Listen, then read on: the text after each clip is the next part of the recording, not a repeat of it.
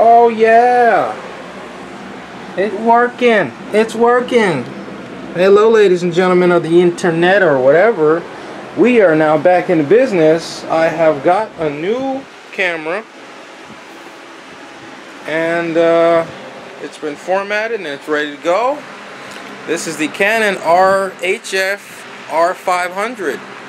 I did a little bit of research online and uh, learned that this camera is pretty good for 60p recording and uh, you know a decent camera.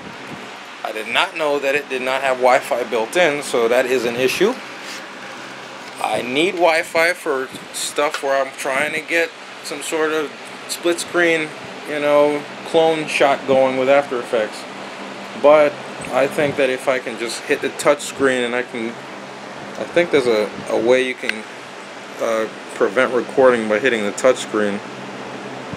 I don't know.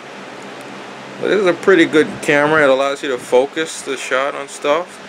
Um, and uh, as you can see, I'm not in the best shape right now, so I'm going to have to get back into shape and work hard at that. I'm just, just a zoom on this thing. Yeah, zoomed out as much as possible. But yeah, no Wi-Fi built in means that I have to really compose a shot based on whatever I'm seeing on the screen. But the screen flips around for you.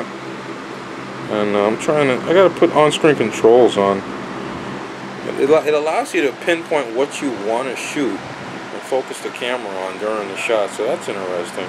A lot of interesting controls here. Uh, record, uh, I gotta figure out what these controls do. So, yeah, that is it. We are back in business. We're ready to shoot.